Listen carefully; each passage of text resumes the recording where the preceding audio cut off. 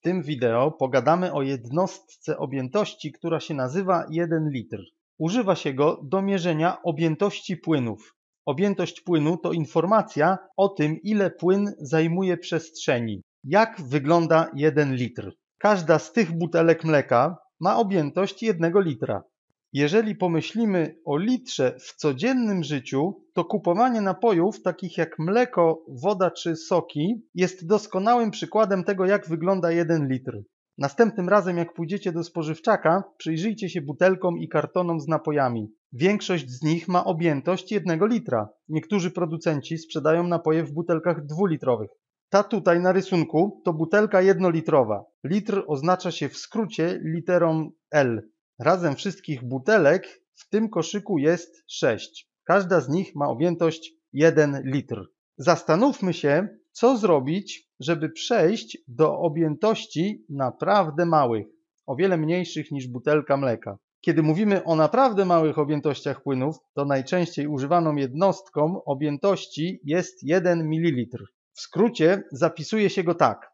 Mili to przedrostek, który oznacza jedną tysięczną część litra. Takich przedrostków spotkacie mnóstwo w trakcie zajmowania się różnymi jednostkami. 1 ml to jedna tysięczna część litra, ale można spojrzeć na to z drugiej strony. Potrzebujemy 1000 ml, żeby w sumie dały nam one 1 litr. Jak wygląda 1 ml?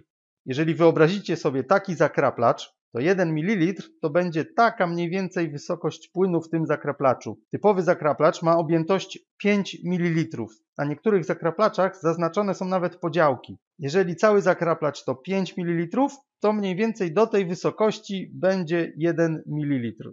Jeżeli weźmiemy z szuflady kuchennej łyżeczkę, taką małą, i nakroplimy pełną łyżeczkę wody, to będzie to objętość około 5 ml.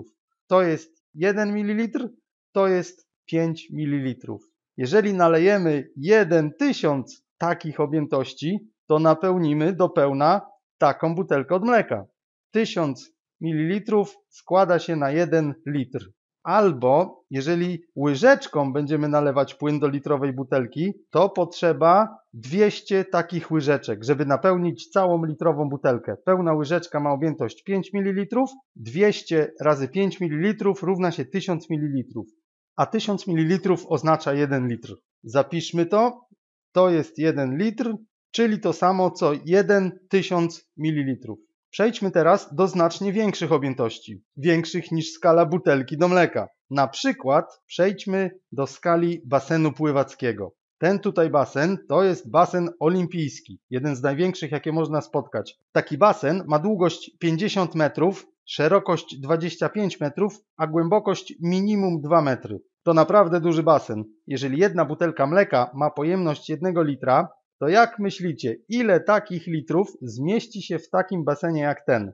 Jeżeli ten basen ma szerokość 25 metrów, długość 50 metrów i głębokość 2 metry, to objętość zawartego w nim płynu, uwaga, uwaga, jesteście gotowi? Objętość zawartego w nim płynu to 2,5 miliona litrów. Czyli gdybyśmy chcieli wypełnić go mlekiem z takich litrowych butelek, to potrzebowalibyśmy 2,5 miliona butelek. Widać po tej liczbie, jak dużo płynu potrzeba, żeby wypełnić nim taki duży basen pływacki, olimpijski. Mniejsze baseny, takie jakie czasem można spotkać w domach jednorodzinnych albo przy domach jednorodzinnych, takie baseny nie mają długości 50 metrów, często są krótsze niż szerokość basenu olimpijskiego, takie małe baseniki. Ale taki zwykły domowy basen ma często pojemność powyżej 100 tysięcy litrów. No to jeszcze raz. Jeżeli pomyślimy sobie o objętościach płynów mieszczących się w łyżeczce albo w kropli z zakraplacza, to jest to skala rzędu mililitrów. Jeżeli myślimy o płynach, które jesteśmy w stanie wypić w ciągu jednego dnia, albo które cała nasza rodzina jest w stanie wypić nawet w ciągu tygodnia, to jest to skala objętości płynów rzędu litrów. Natomiast jeżeli zastanowimy się, ile płynu potrzeba, żeby wypełnić nim cały basen pływacki, to będzie to zakres rzędu dziesiątek tysięcy albo nawet setek tysięcy litrów, a nawet milionów litrów.